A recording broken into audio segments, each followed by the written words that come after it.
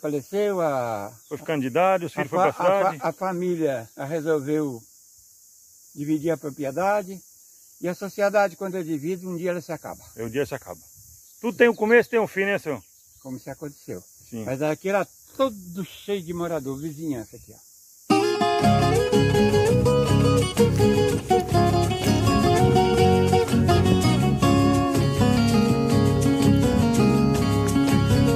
Acordei recordando a infância da minha vida. Bateu forte no meu peito uma saudade doída. Lembranças que estão fincadas aqui no meu coração. Eu sonhei a noite inteira uma casinha de madeira que deixei lá no sertão.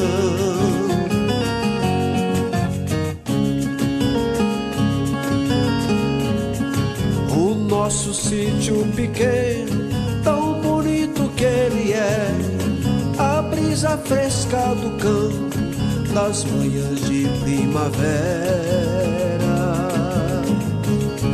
Nas noites de lua clara, papai tocava violão, sentado lá na soleira, na casinha de madeira que deixei lá no sertão.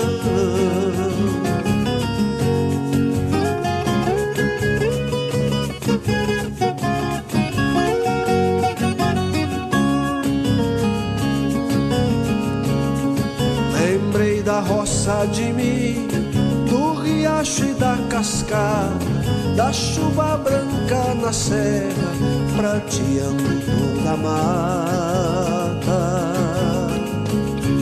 Quando vinha a tempestade, mamãe fazia oração e eu contava as goteiras da casinha de madeira que deixei lá no sertão.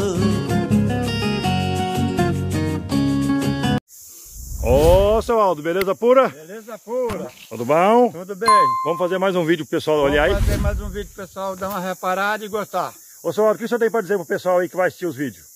Eu tenho para dizer o seguinte, eu tenho para dizer uma coisa muito interessante. Que hoje eu acho que é o dia mais feliz da minha vida, que eu já estou com 82 anos. Sim. Eu poderia ir embora e não, não fazer um vídeo desse. Olha, olha, o senhor me deixou emocionado, hein? Ah, O senhor me deixou emocionado, e hein? eu poderia ir embora daqui e não fazer um vídeo para deixar a história dessas propriedades eh, na cabeça do- da juventude, Da juventude. para eles entenderem que a vida hoje está muito fácil e está estando difícil, porque eles estão se levando com muitas coisas erradas. Com muitas coisas erradas, infelizmente, né? Infelizmente. É uma grande parte. Tem muita gente boa, mas infelizmente tem uma grande Infelizmente, parte. Tem uma, umas pessoas que às vezes ele porque não entende ou não compreende, Sim, enfim, acontece essas histórias, né? conta essa história. Tá. Gente, o seu Aldo, ele mora aqui sozinho, né, seu Aldo? Aqui no sítio. Gente, um sítio bem raiz mesmo, hein? E ele falou que tá muito contente, gente, de nós estar aqui hoje filmando um pouco do dia dele aqui, né? Olha aqui uma árvore de pé que nasceu aqui nativa. Olha só. Essa árvore de pé nasceu aqui, ó. Essa é uma árvore de ipê. De pé. Essa aí é aquela uma que dá, que, que é o roxo ou é o branco? Não, é o, é, é o amarelo. É o amarelo. A flor amarela. Esse é o pé de ipê. É de pé. Sim. Esse aqui é pé de jabuticaba. Ah, sim, já tá Ó. florando, já tá florando também, né, Tá senhor? florando para dar, pra dar jabuticaba. Jabuticaba. Já, já deu umas colhetinhas já. E essas plantas foi tudo o senhor que plantou? Foi, foi. Tudo o senhor que plantou. Essa jabuticaba foi plantada. Foi plantado, né, senhor? plantada. Gente, olha que bacana ali, um pezão de abacate, né? É, ah, não, essa aqui é outra árvore de gurucaia que foi Ah, é, parecia um pé de abacate. Ó, olhando aqui, você quer um pé de abacate. é um Não, pé de não. gurucaia, né? É tudo gurucaia. E eu percebi que aqui também tem bastante abacaxi por aqui, né? Nessa Tem, região. tem, tem, tem. Ó, gente. Tem abacaxi. Abacaxi. Abacaxi. Essa terra aqui é terra mista, seu Aldo? É terra mista. É terra mista, né? Terra mista. Agora essa aqui é um pezão de abacate, ó. Ah, esse aqui é o pé de abacate. É. E essas árvores aí que eu não te falei pra você, tudo são árvores nas- nativas e nasceu é Guari- Guaritá. Bora tá. Essas árvores bonitas aí. Ô, senhor, dessa mata aqui, ela pega daqui, né? Daqui e vai lá pra frentão lá, né? Vai lá. É uma reserva do É senhor. uma reserva. É uma reserva, né? Reserva. Até que eu gostaria Hum. que saber como é que a gente faz com uma reserva dessa, porque eu, há 60 anos Meus vizinhos desfrutam da terra e eu não desfruto dessa terra. Eu, eu, nunca tive uma recompensa. Ah, entendi. Mas não é por isso que eu estou querendo fazer da minha mata. Eu quero que os vizinhos também incentivam a plantar uma, uma matinha. E isso para ter sempre, pra né? Para ter uma, uma, uma amostra para os netos. E isso não vai se acabando, tem os passarinhos, tem os bichos que convivem na mata, né, senhor? E, a, e as madeiras também vai desaparecendo os nomes das madeiras, né? Ah, é. Vai sumindo, né? Vai desaparecendo, né? Sim. É. E o senhor aqui, o senhor sabe o nome das madeiras, né? Sei tudo. Ali, ali tem uma madeira velha caída no chão ali, uma tora. Tora. Esse é antigo, hein? Esse é antigo? Antiga. Ó. Essa tora aqui tem mais ou menos uns 40 anos que tá aqui. 40 anos que tá aqui no chão aqui. É. Ó. É desse capim que eu tô plantando ali, ó. Ah, é o anapiê. Não, açu.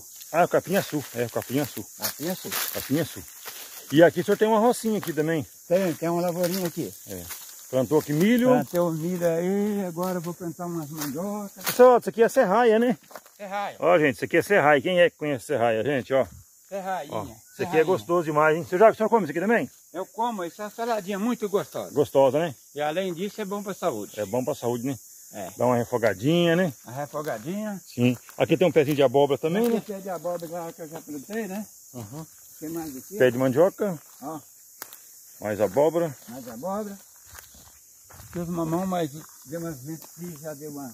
Mamão tá, se acabou, né? É. Ó, é desse capim que eu tô plantando. Ah, desse capim que você tá plantando. Esse capim tem 60 dias que eu cortei, olha o tamanho que já tá. Tá bonito, hein? Tá bonito. Isso aí dá três quartos no ano pro gado. O gado não passa fome, né? Quando na Não. época é ruim, né? Além de ter um pasto assim, pode jogar que a gente dá como, porque o capim é muito gostoso. Sim. Ô, senhor Aldo, aqui a maioria do pessoal aqui é, se mudou da roça? É, o- a maioria mudou, o, proprietário faleceu, a, Foi ficando de idade, os a, filhos foram pra a cidade? a família resolveu dividir a propriedade. E a sociedade, quando é divide, um dia ela se acaba, E o dia se acaba. Tudo tem um começo tem um fim, né, senhor? como se aconteceu. Sim. Mas aqui era todo cheio de morador, vizinhança aqui, ó. Tudo cheio de, cheio de vizinho aí por perto. Todo vizinho, tudo vizinho. Aqui Mas, tudo é. era morador. Lote, lote de seis arqueiros, de cinco arqueiros, de oito arqueiros, de dez arqueiros. Enfim, todos eles hoje já faleceu e a família está na cidade. Sim. Muitos moram por aqui mesmo, outros já foram embora para outra cidade grande, né? Sim. Perdi até o contato com eles, né? Infelizmente, né? Infelizmente perdemos até o contato, né? É. E vai virando outro cenário, né? Vai virando. Aqui antigamente, tipo assim, nós estamos vendo aqui agora tudo pasto, a maioria é pasto. Isso aí o senhor falou que era café antigamente. Nessa beirada por baixo aqui nu- nunca foi café. O café era mais no espigão. Era mais no espigão, na parte de cima. Porque aqui dá muita geada, Hum, Então os cafés na- no, no espigão eles tinham mais de vida, né? sim. É, a geada precisava ser muito forte para queimar. Qual que foi a geada mais forte que deu aqui, o senhor lembra? 75. 75, todo mundo comenta, eu perguntei o senhor ia falar.